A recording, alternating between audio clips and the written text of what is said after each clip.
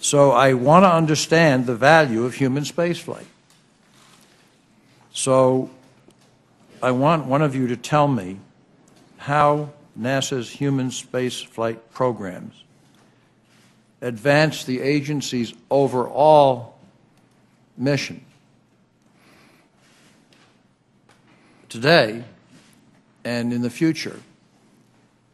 And I also want you to explain how human spaceflight, in that it's in a context of other um, priorities for NASA, helps the human condition sufficiently to its budget in America. You're asking for a lot. I will do my best, and I'll certainly let uh, my colleagues here help me if they would like. Uh, if you want to talk about technology, if you want to, the technology which you have in your hands today, the technology that communicate around the world, the technology of communications itself, the technology have that I have in my iPhone today is technology that was given birth to 30, 40, 50 years ago. I skipped over my comments about technology that, that we're talking about in a proposal. Tech, exploration drives technology innovation, the, not the reverse. You have to can't lock a group of, of the most smartest young men and women in the world in a room, engineers, scientists, technicians, and say, go develop technology for what? There has to be a purpose, just like there has to be a purpose in life. They have to know what they're trying to accomplish, what their goal is, what the problems are, uh, and then develop the technology that gets the job done. Going to the moon, the technology that, that, that we developed to go to the moon, whether it was material. Look in our, our walk in our hospitals today, walk in our classrooms today. Does that benefit is that a benefit to us humans here on this earth today? I like to think it is. You can, you can go deeper into that, but let me go, let me get a little bit more philosophical. Curiosity is the essence of human existence. Who are we? Where are we? Where do we come from? Where are we going? Where's the life on Mars? Is Mars like Earth is going to look in a billion years? Are we what like what Mars looked like a billion years ago? I don't know. I don't have any answer to those questions. I don't know what's over the hill and around the corner, but I want to find out. It's, it's within our it's within our hearts and souls and desire to find out and seek knowledge. Discovery is what it's all about. And yes, we have been there, but we haven't been everywhere. There's a, there's a bottom to the ocean. You can walk the top of the highest mountains in, on this planet and you can walk to the, on the depths of the deepest ocean, but you're still on Earth.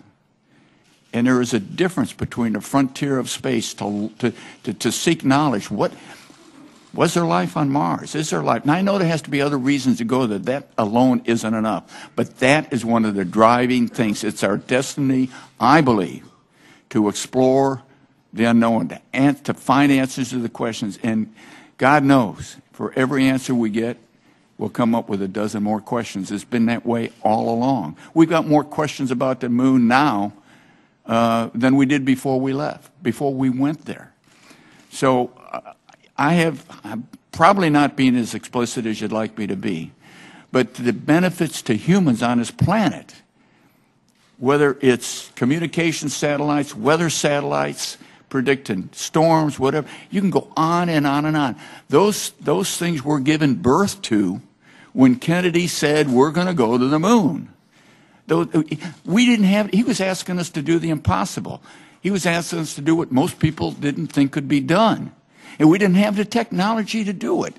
Is that technology, it's obsolete today in one sense, but American industry, American ingenuity has built upon that so that we have today what we have in our cars and our airplanes and our transportation, in every walk of life.